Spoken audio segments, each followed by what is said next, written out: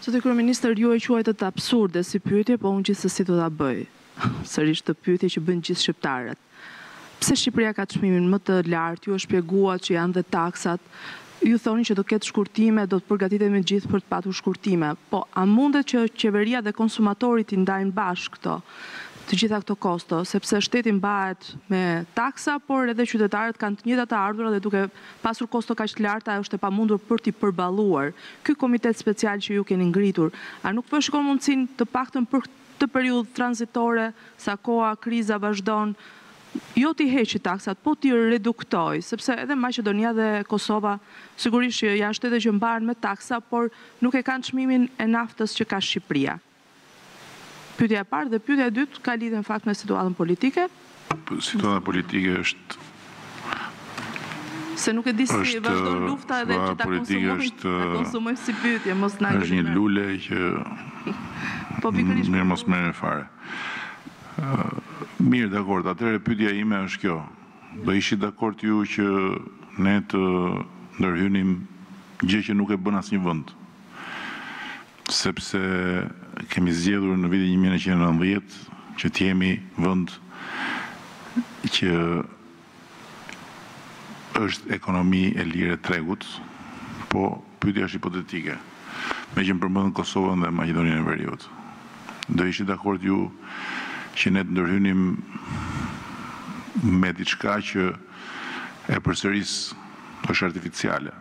Sepse Kosova dhe Maqedonia e Veriut, edhe vendet tjera, kanë, i kanë veç këto taksa.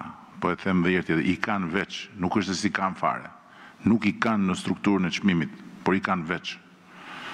E para. E dyta, Kosova dhe Maqedonia e Veriut, që i sollët ju si rast, kanë rritur çmimin e energjisë Në mënyrë shumë të ndjeshme në faturën e familjarëve. Ju do ishit dakord që të ndodhte kjo në Shqipëri? Mund të ndodhi më tutje, po sot që flasim. E tha ministrja dhe e përsëris. Ne bëjmë rregullisht, rregullisht, çdo vit dyzet e pesë milionë dollarë subvencion për familjet në nevojë për të mbajtur kilovatin e tyre shtatë lekë shtatë lekë ndërkohë që pjesa tjetër e paguan nëntë pikë pesë lekë dhe sot kilovatin në treg Qeveria, shteti, strukturat përkatëse e blejnë gjashtëdhjetë e një lekë. Pra, gjashtëdhjetë e një lekë paguhen nga buxheti dhe në faturën tonë në familje vjen nëntë pikë pesë lekë. Është e drejtë që të ndërhyjmë sot tek çmimi i energjisë dhe të godasim të gjithë pa përjashtim për të ulur që unë nuk e besoj që ndodh ulja sidoqoftë çmimin e naftës për ata që kanë vetura, që kanë makina, është e drejtë kjo? Unë mendoj që jo.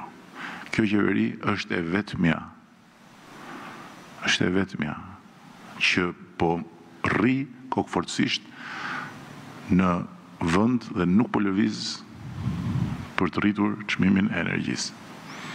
E vetmja. Po ju them prap, keni miq të afërm në Itali, në Greqi, pyetini.